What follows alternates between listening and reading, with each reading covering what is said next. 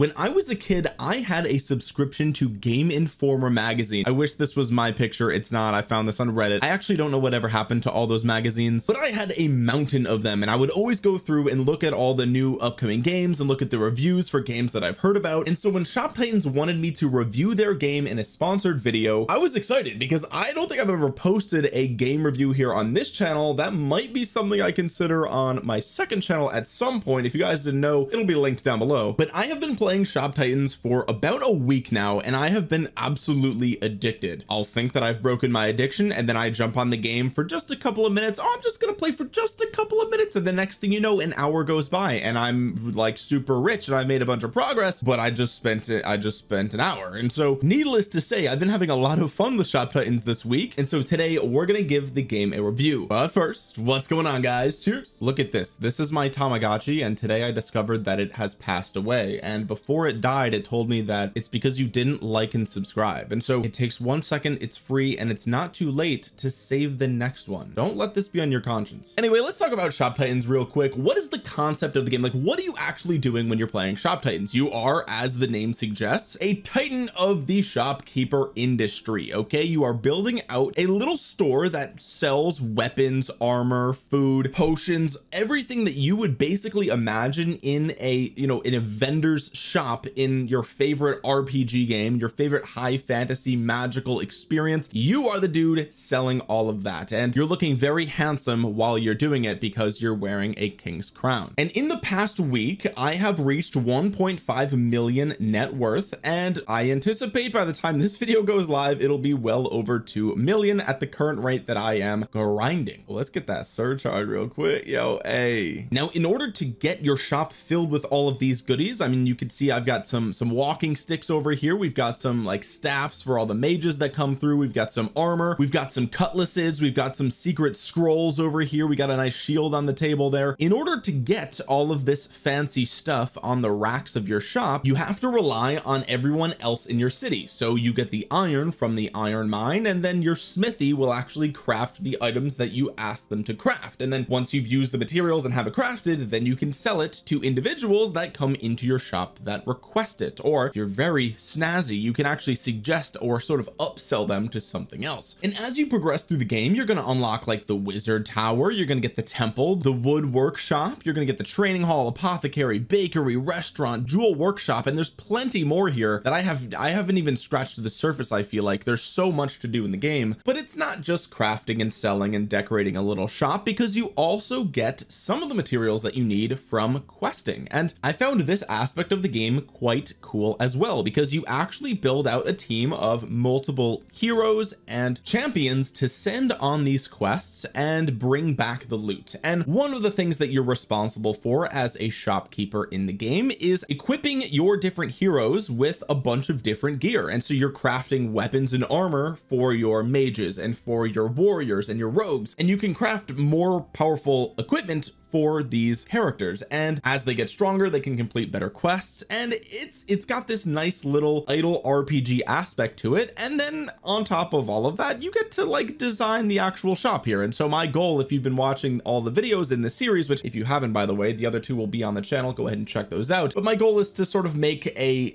a shop that I feel like would be something that you would see like like the Lion's Pride Inn or you know some sort of little shop set up in the middle of Elwynn Forest okay? I used to play a lot of World of Warcraft. This game is not affiliated with them in any way but I just got those vibes okay? I just got those vibes. And I mean you see we're like in the middle of a middle of the trees here a little forest and I just like you know you got the wood floor and I put in a little fireplace and I don't know that was just the cozy vibes that I was going for. And it was nice that the game accommodated that right? That fit with the lore and it was exciting because I could see you know when I first started the game I only started off with just this center square here and I built out the left and right side and you would know that if you watch the previous videos but there's much more that I can expand onto as I continue playing the game. And the next expansion is a million so I'm gonna have to be a I'm gonna have to be a, a big baller to uh to, to continue expanding here. But for such a simple concept the game is shockingly addicting. It is actually super addicting. The progress that you make is fast it feels rewarding to make this progress because you're given meaningful decisions that you have to make. And it might be simple things like should I small talk this individual or not? If I do it and I succeed I get more energy and I can use that to surcharge which is going to increase the price that I can sell goods for right? It looks like I've backfired here so there you go. I'm going to small talk again and we get a success that time which feels nice. But you feel like you're actually rewarded for being a skilled shopkeeper understanding supply and demand understanding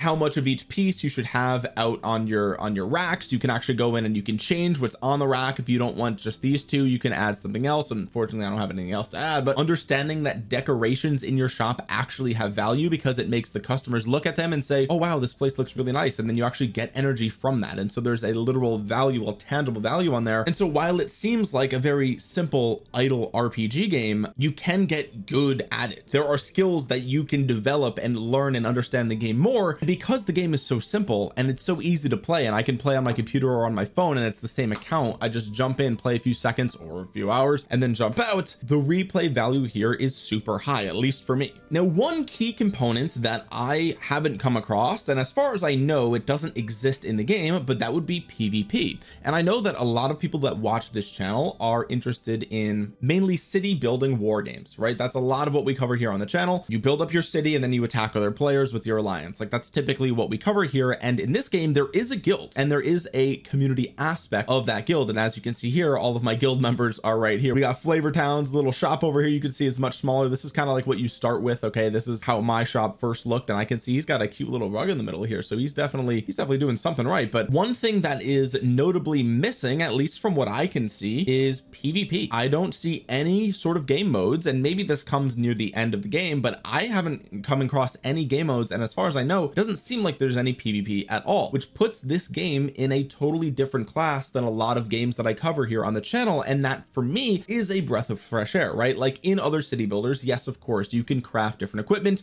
You can put it on your heroes your commanders your whatever you want to call them and you go into war. And in this game you're kind of doing the same thing. You build equipment put it on your heroes you send them out to do quests right? But there's no PvP and what that actually does you might think that that's a bad thing. And for some players who are very like motivated with PvP sure that would be a bad thing but oh man I keep backfiring today. Oh my god. Sorry I'm getting distracted but like I just this is what happens right? I like I just I, I start doing one thing and then I get just, just distracted and I'm I'm just playing the game. Anyway without there being PvP in the game this turns into a super chill idle RPG there is no risk here. There's no real FOMO right? There's no waking up and losing everything. I think that that's a really big downside to some of the city builder games that we cover here on this channel is that it's not very casual friendly right? Those games have events that you have to be there for. If you're not there for a particular event you just miss the value for your account. And don't get me wrong this game has timed events as well but the consequence of missing those events isn't logging in and having everything in your city burned to the ground. You just log in and there's just customers and they just want to buy stuff and you just pick up where you left off and that's it. And that makes the game so much more chill. And it's a really nice change of pace at least for me because I've been playing the same sort of genre of game on this channel for literally years now and so shop titans has scratched that itch of it being a sort of cartoony high fantasy game where you can still make equipment and you can still collect different heroes I mean the next one costs a hundred grand so it's a little expensive for me right now but we'll get there okay? We'll get there. And like these heroes are are interesting because you can actually customize them right? And this isn't this isn't like behind a paywall. This isn't like anything like that. Like I can just come in here and I can change how he looks body type and like you know skin tone hair hairstyle hair color like all this stuff right? And you can change their names and you could like get to sort of you, you kind of grow attached to these characters. My first ever soldier was Bartholomew right? I made him I recruited him in episode one. You should check that out. And I it felt good to see him complete quests. And as I as a shopkeeper got better he actually started getting better gear. And Bartholomew just kept slaying the goblins in the forest and I felt good about it right? And so you can build out like this roster of characters and each character is one that that you can create. My newest one that I just added was Sven okay? And Sven is he's just so he just I don't I love it. I love how he looks. He's great. I love the hat. I, the leather hat just really does it for me. But the game still scratches that itch of the city builders where I'm crafting equipment collecting different heroes and building a stronger set of heroes with my stronger equipment and making that progress. But you don't have any of the downsides of like waking up to a fate changer and everything is burned to the ground. And you don't have like your alliance or guild members like hey if you don't log in you're going to get kicked out and we're going to burn you. And like it's not that my alliance in other games would actually do that. But I've heard that story from many of you before and that is definitely a downside for those types of games right? It's it's stressful sometimes to play certain city builders. And so shop titans is a much more casual friendly much more chill game in a similar genre that scratches some of the same itches as those city builders. And depending on who you are the lack of pvp might be a pro or a con. Let's see what Grimarr wants. This is the wizard here. He wants uh oh he wants to sell me 10 scrolls of armor and this is basically free money because I know those are going to sell and I can sell them for a lot more than what I just paid for them so big brain baby big brain. I'm gonna surcharge you for the cutlass baby. Let's let's go. Next up I want to talk about the graphics of shop titans. This is something that in the first like three seconds. You download the game and the first thing you do is create what your shopkeeper looks like right? And the first thing that I noticed was the graphical style. And I think that the graphical style might be polarizing for some people. Some people might say hey they don't love the cartoon graphics. I personally love them. I love this style of graphics. As I mentioned before the reason that I even wanted to make this place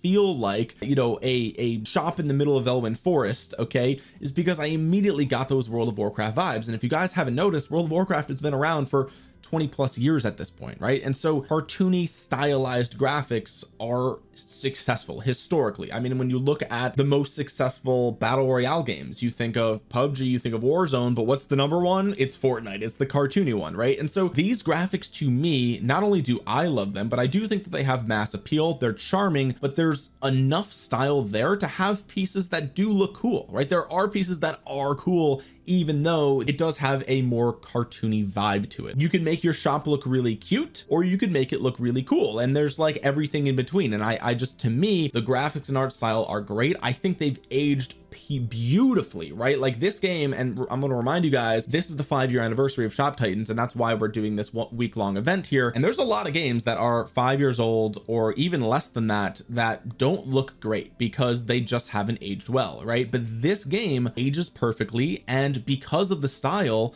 it runs flawlessly on any device that I've tried it on right? I've tried it on my PC I've tried it on my phone it runs perfectly. And again it's a much more chill game so you don't need high frame rate you don't need like you know there's not there's not a million like actions per second or per minute right? Like it's nothing like that. It's a very chill game that just looks cozy and I personally think the graphical style is very crisp like it's very clean but it's got that cartoony style that I personally love in games. And I've talked about this even in videos of other games games right? I've talked about the fact that I prefer that more cartoony style because I think it ages better. I think it looks better on smaller screens. I think there's so many benefits for games to go down that more cartoony route. I mean look at Minecraft right? Minecraft is like the one of the most successful if not the most successful video game in all of history and it looks like it would run on an N64 right? And so I personally love how this game looks and if you saw my first episode you would know that that was like one of the first things that I even mentioned. Look at this massive surcharge. Look at this. This is this is the satisfying part right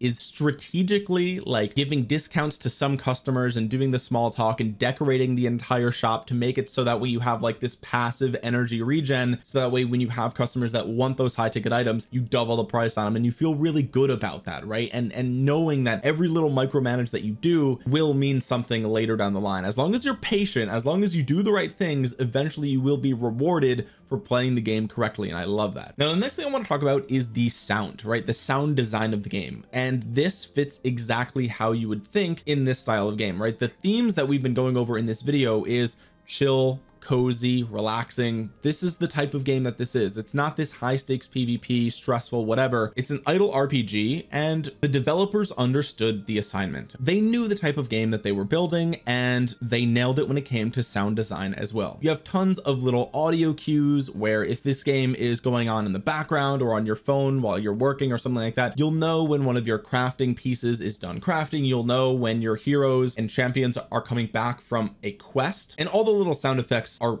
great. They make the game very enjoyable to play and I just they're very satisfying little pops and dings and and I like that. And on top of that or I should say behind all of that is just a very soothing soundtrack. And again the soundtrack kind of reminded me of a sort of medieval tavern right? And that's the vibe that I wanted to go for here with my shop. And, I, and by the way like I think I got a long way to go right? Like this wallpaper could use some work okay? I haven't unlocked a wallpaper that I prefer but you know there's there's a lot that we could do here to make this this shop look a little bit more uh more like what I'm going for. But the music is chill the music is relaxing and there's a good chance that I used a lot of that music in this video. So if you like that then you're gonna love the music in the game. Look at this surcharge baby. Look at this surcharge. Oh 3600 yo we're gonna hit that 100k in no time. We're gonna get ourselves another hero baby. Oh I gotta be level 25 oh Oh, I'm only level 22 anyway the last thing I want to touch on is sort of entertainment value okay? Because like I said there's no PvP and so the game is entertaining in other ways right? I mentioned that it's satisfying to progress you know getting better gear better equipment better weapons better heroes and decking them out and doing better quests. And there's a lot of that to do by the way. Like I I've seen screenshots of you know people selling a single item for 1.5 million right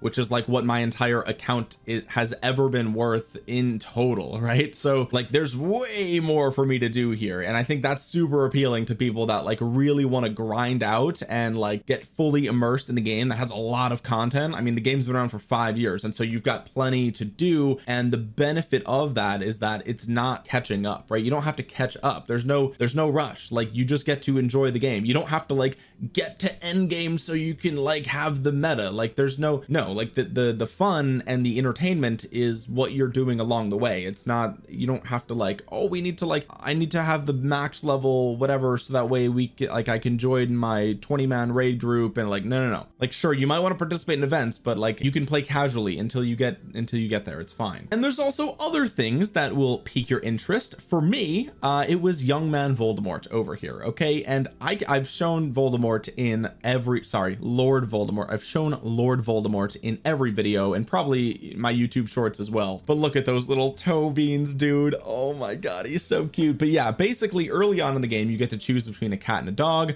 There's other pets here that you can choose. Some of them cost gems. Some of them cost gold that you can get just by playing the game over time. You can get yourself a dog and oh my god a little hamster. Little hamster. Oh my goodness he's so cute. Look at his little butt dude. Oh my god. But beyond that you can further customize your pet. I can have an, an ember themed cat okay snow peak tabby tuxedo right? And some of these you unlock again completely free to play. Feed the cat 40 times. Like you're going to do that once a day. So after 40 days you're going to get this for free. This is you know 20 times whatever. And then you can throw some cool accessories on there. And for me I want to get king of the jungle. This is another Millie right here but I think Lord Voldemort deserves it. So we're going to get there eventually ladies and gentlemen. Even get a little halo. That's so cute. It's not even that many gems too. Like this is stuff that I I love it. Oh my god. Oh he's got a monocle. Oh my god. It's adorable man it's adorable. And there's a ton of furniture and stuff to unlock as well and so you can further like customize how your shop looks and to me I like that visual progression right? I think that people really undermine visual progression in games. People just care about stats. Oh I just care about the stats. Like does it deal more damage? And like of course you know I'm always to pick the thing that deals more damage no matter what game I'm playing that's what I'm going to go for. But I do think there's something to be said about the visual progression of your character or of your heroes or of your commanders over time in games like this and I find it very satisfying to see